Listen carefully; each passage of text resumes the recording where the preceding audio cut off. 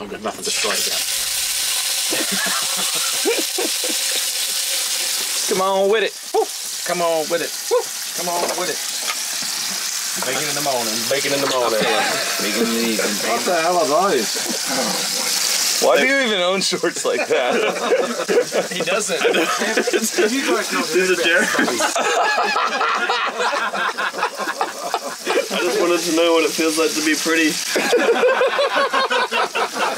Why do we hang out with this guy, man? Who invited Marty?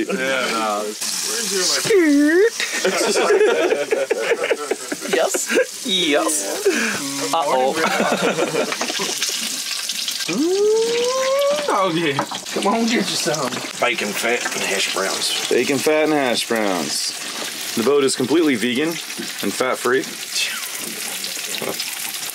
Even our potatoes have meat juice on them. Look at that. Not your first rodeo. Breakfast of champions. Yep, yep. Gonna need our energy today, huh? Mm-hmm. Especially in that wind. Oh, yeah. Especially in that wind. oh, we got the healthy version too oh, yeah. For the vegans. for the vegans. Oh, this is gonna be good, mate. Oh, I've got a cup, Eddie. I'll grab a cup. Oh, that's all right, I got me getting another one. Yeah. I'll bring your cup I in. will. I'll grab it. Thank you.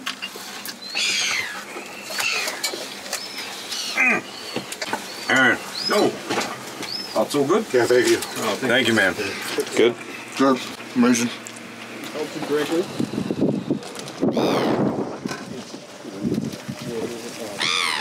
Oh yeah. Oh, sexual. Steven's so proper with the fork and knife. All right, so while we're stuck here in port, hiding from the wind, we're gonna do a little kayak fishing around these mussel farms, see what we can get into. All right, so we were supposed to head to the Mokohinau Islands today, but as fate would have it, the wind forecast changed and it is ripping outside offshore right now, 30, 35 knot winds. So instead, change of plans, and we're gonna fish the mussel farms today. So these mussel farms are obviously full of mussels, which bait like to eat, and if there's bait around, there are predators around. And the guys tell us we are going to hook some big yellowtail today, some big snapper today. The problem is these mussel farms are basically underwater pilings that go straight up where mussels grow all along the sides.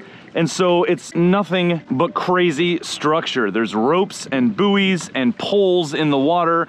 So hooking these fish is the easy part. It's landing these fish, they tell me, can be damn near impossible at times. So I've got a heavy setup and today live bait is kind of the jam. They're telling me that, that live bait around these mussel farms are way more productive than plastics. Plastics can work, so I got a few tied on, but we're gonna start off with some live bait that we caught last night, see if we can't rip up some monsters right here outside of the port. And then tomorrow we're gonna head to the Mokes as the wind chills out. It's gonna be a little bit of a rough crossing, he said, but once we get there, it should be pretty prime. And Aaron, skipper Aaron, just what a legend. He uh, last night basically said that since we're having to burn a day today, he's gonna add an extra day on the end of our trip for free. So we all double checked our flights. We're all make it back in time, so it's gonna be no problem. So instead of seven days out here, we're gonna do eight. So yeah, let's see if we can get into in these mussel farms. It's kind of a unique, uh, a little something different than we did last year, and I'm all about trying new techniques, trying new uh, ways of fishing. So yeah, this could be pretty fun. Not quite the wild and remote area that the Mokes is, but there's big fish here. I'm all about it. Ivy let me borrow his bait tube. He's taking the morning off, getting some stuff done on the boat. So got about six liveys in here and they tell me I'm gonna be losing them. But I brought a live bait rig that I used back in Panama. Got a seven aught, I think they're called stickies or something like that, circle hook. I got from Karl's Bait and Tackle where I get most of my tackle. If you guys wanna get 30% off all of your tackle, you can join Karl's Club and shop at Karl's Bait and Tackle and literally get 30% off everything you, you already buy. It's the biggest no-brainer on the planet, and that's what I do. So I got these circle hooks at a discount, and I've got 80 pound braid and a 100 pound leader, and basically my strategy is gonna be drag these liveys along these ropes and buoys, and then when you hook up, I'm gonna basically try to lock this down, hope that the line holds up, and pedal as far away from those buoys and ropes and pilings as possible. It's gonna be kind of balls to the wall, full sunset as they say here, full drag, trying to rip these fish out from all this structure. Grab one of these guys.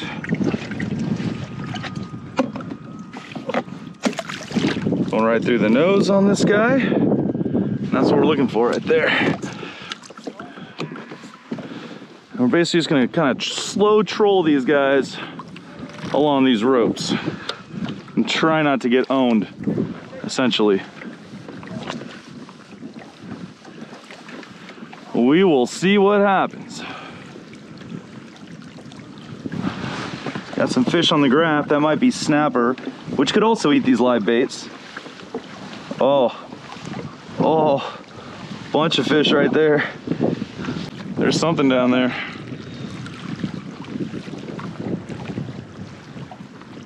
Bunch of something's down there.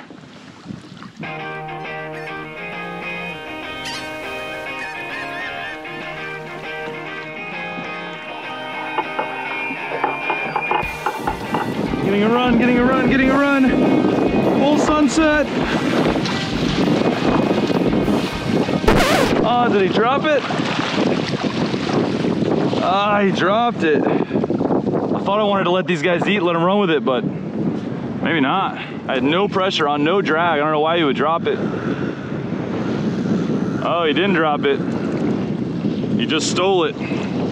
Well, that's a good sign though. I had a good feeling. I had a bunch of marks right there in that spot. My first pass, so I came back and I hang, hung off it, hoping to kind of get my line right above where I was marking all those fish. And sure enough, got to run maybe about two minutes after getting there. He ripped the bait off. I'm gonna go through the next one through the top of the mouth instead of uh, through the nose like that.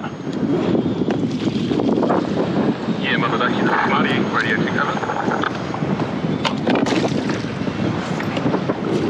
try this again. All right, so the wind uh, kind of shifted direction a little bit and now it's ripping right down this pass. So uh, the captain, Aaron, skipper's gonna run around this corner. Looks like it'll be protected over there and there's another mussel farm over there. So, um, I mean, the wind's, the wind's not terrible, but it's, it's just kind of hard to maintain position. It's wet. Uh, you guys aren't gonna be able to hear me very well, so I'm just gonna basically let the wind drift me uh, towards this kind of protected corner. We're gonna go around the corner and it should be better over there. But I got a bait out, might as well just, just drift the whole way. And see what happens.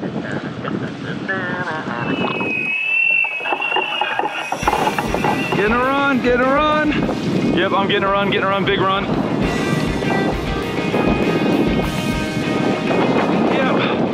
Fish on.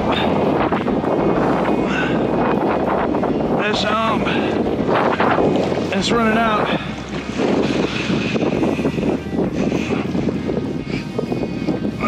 Yep, yep, yep. Fish on, fish on. What I just say two minutes after I said I might as well drip the bait. There we go. Little New Zealand sleigh ride, baby. Yep, I'm on a good one outside this first mussel farm. Second live bait I put out, I'm, both of them got hit. It's a good sign for the rest of the trip. I don't know if this is a kingy, could be a small kingfish.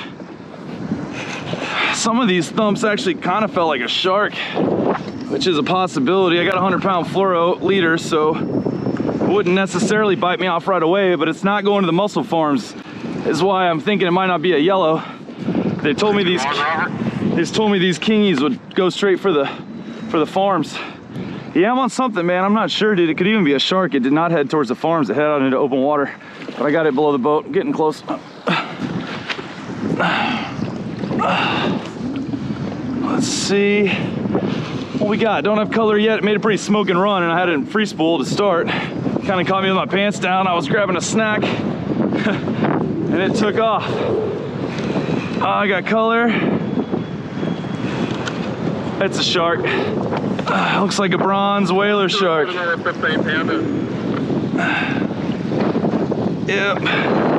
Oh no, it's a hammerhead. Hammerhead.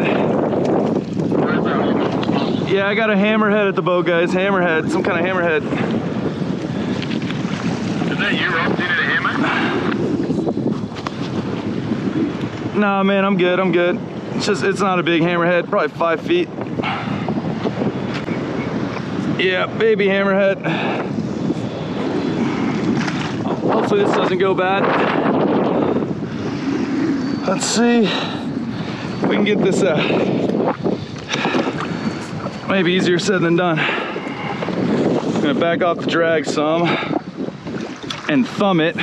Basically by doing that, I can get leverage on it with my thumb, but then if she takes off last second, it's not gonna flip my boat. Beautiful little shark. We're gonna try to get this out of her if we can. If she'll let me.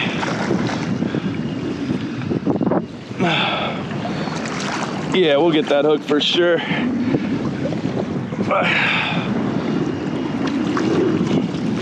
This wind is not making this easier. Come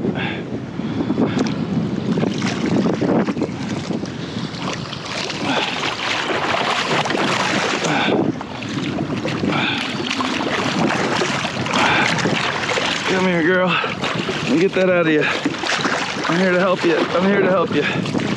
I know it doesn't feel like it, but I'm here to help you right now. Come on. Just need to get a hold of that hook. Oh, oh, watch the dentures. Come on, sit still. Come on.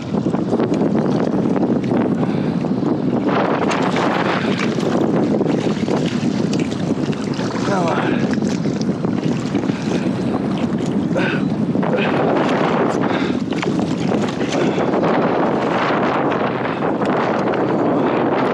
Stop.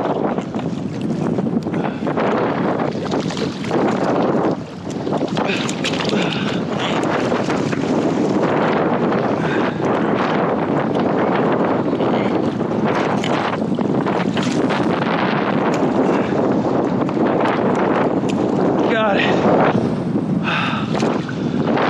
Oh, and there she went. And my line's all twisted up from her writhing next to the boat, but oh, I did not want to leave that in there. Oh my gosh. That was a workout. Got my leader back though, my hook back.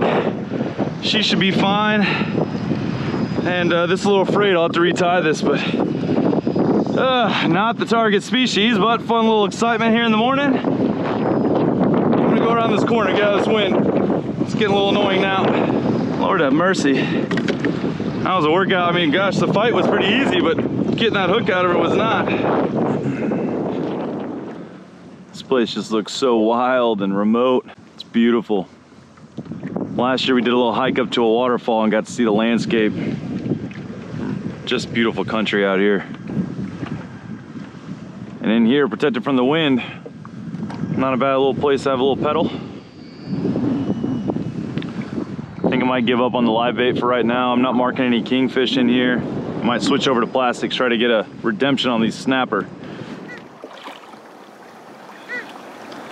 So this little guy right here is actually a species of penguin. Did not know New Zealand had penguins. I can't catch the little guy for a closer shot. They're fast. They go underwater and he pops up 100 feet away in like six seconds. Can't catch up to him. Pretty cool. They make a pretty little distinct sound. Sounds like a little honk. It's like he's trying to find his buddy. I just heard one uh, kind of reply to him. Cute little guys. See if I can get a better shot for you guys later.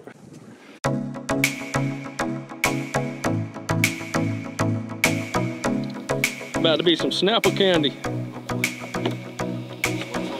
All right, Brooks is on now. Just came over here to this calm side I was talking about after releasing that hammerhead. And Brooks is on one, I think on soft plastic or on the chatterbait. There's a bunch of snapper around these things too you can catch on artificials. Nice. Yep, yep. So Brooks with a nice snapper on the Z-Man. That snapper threw up a bunch of like mussel looking stuff. Like that's what they're down there crunching on. It's crazy that they can eat that, you know? Yeah, I mean, you see their teeth and besides the sharp ones up front, they've got crushers almost like a like a sheep head. Yeah. Nice, Marty's on. Everyone's hooking up on the plastic, so I just switched over. Forget the live bait. Gonna quit trying to force something that's just not really, not really working right now. So it's not a huge fish, but hooking fish on plastics 100 feet down, never a bad time. Half ounce jig head, seven inch gulp. This little guy. So good fun. Yeah, nice. Nice, mate. Nicely done. Beauty. Yippah!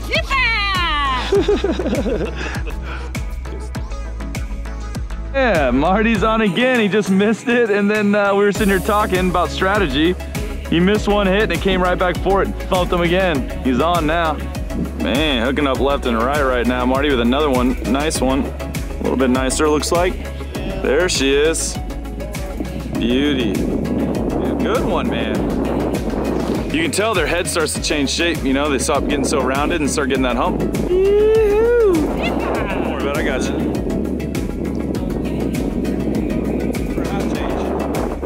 Look at this with the wardrobe change mid-fight. Look at this guy. Looks like a good one, man. They're strong fish, man. Every time they come up, I'm like, what, that's it?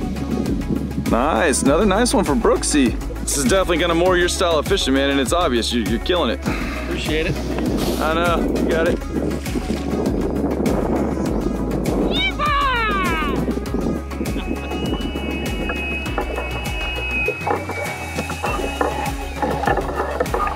Yeah, I don't think it's real big. Fish up. It's not real big, but it's not tiny either.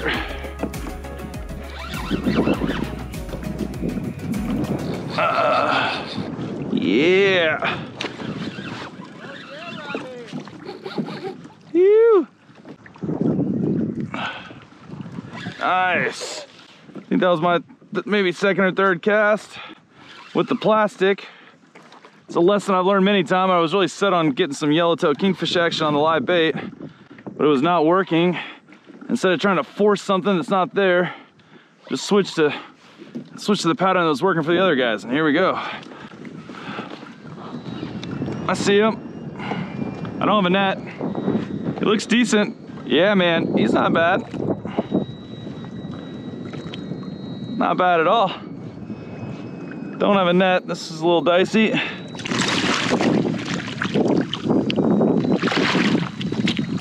Please don't. Yeah. Nice. That's on the Z-Man also. Got a little willow blade on it. Nice little Z-Man. Beautiful fish. Look at that guy. On second drop with the plastic today. Not too shabby. All right, cheers, you old bloke. I caught a snapper! That was at least 25, right? If you got like a ball, you, I could break balls of oysters off and just have balls of oysters, but then they're really hard to break because they're so sharp. I find it's better to like be able to steady yourself against a rock and be able to like pry off. yeah. If you just got a ball of oysters, you're trying to. It's it's really hard. So I find this is like the most effective way to do it. You like touch it just gently with your finger. Don't run it fast, but just touch it. It's like Oh yeah. See what I mean? So that there, if, if I didn't wear gloves, I would have slipped and I would have sliced my hand completely open. And for the amount of like yield you get on them, there's not a lot of return. Like it's more, they're definitely a delicacy.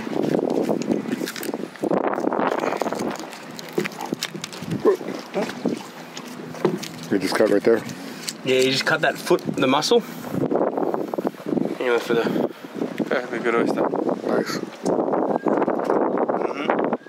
Mm-hmm. Yep, that's what we're talking about.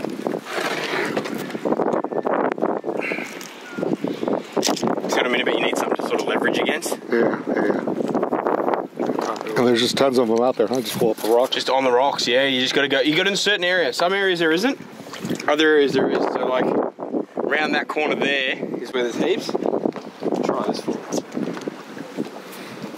Grab that bad boy out of there.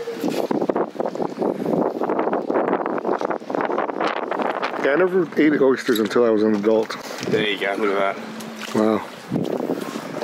'Cause to be honest, they don't look appetizing. And they're- And yet you look at think about what they're worth in a in a restaurant or exactly. anything like that. Yeah, I did. I actually with the garlic butter and stuff. Oh, yeah, yeah. Oh, they are so good. Any fish out here eat these? Everything. Yeah, if they can get into them. So uh, the snapper will more than anything. If they can get into them. Uh-huh. So alright, that one's gonna be a pain.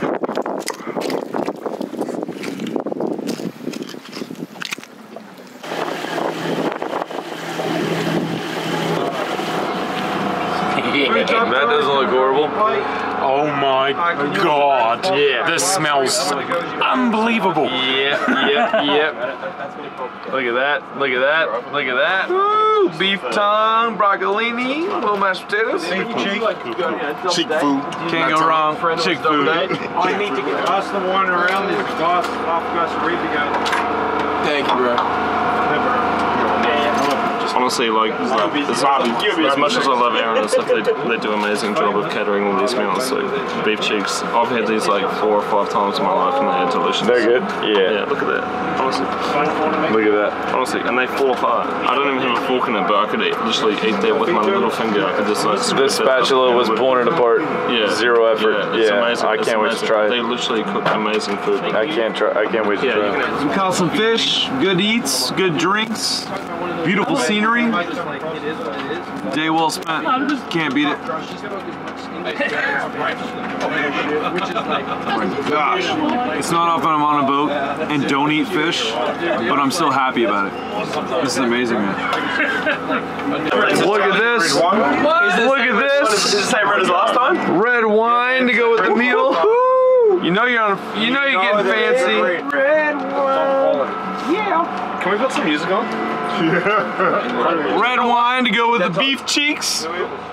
Crazy. All the improvements just since last year, man. Just since last year, I feel like it's Whoa, why do you got so kicked much up more? five notches. I need some more cheeks. What do we? I'm just teasing. Your son's awesome. Yeah. Yeah. Good point. Good point. We don't believe it. Because you know, Marty's very, very different. But we love it. This is very different. we love him alive.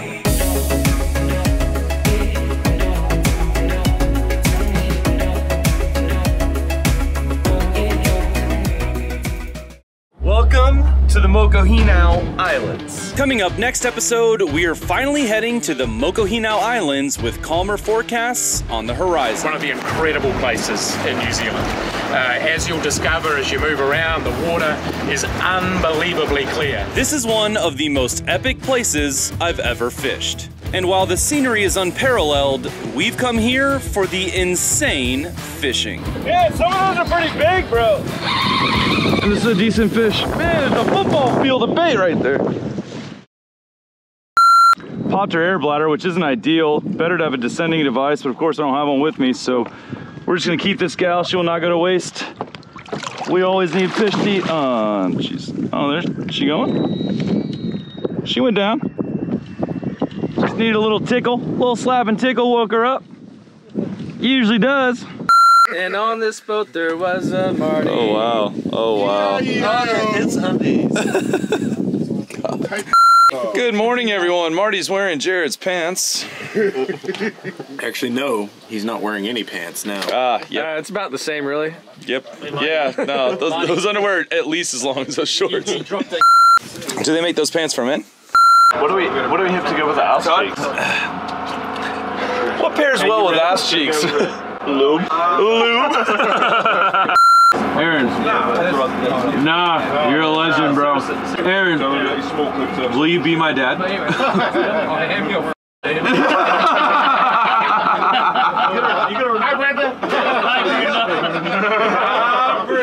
Brenda would love you, man. Mom, you're gonna love